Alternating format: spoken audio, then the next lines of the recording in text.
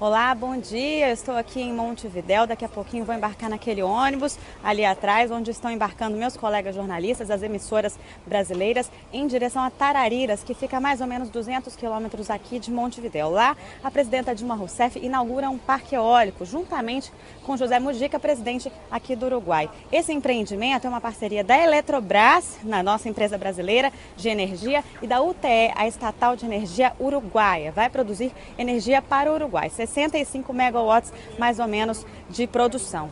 Mas também fica como reserva energética, de segurança energética para o Brasil. Amanhã, a presidenta Dilma Rousseff participa da posse do novo presidente uruguaio, Tabaré Vázquez, aqui em Montevidéu. Então, hoje, nosso evento é a inauguração dessa usina de energia eólica. Mais informações você acompanha ao vivo na TV NBR e também aqui pela internet.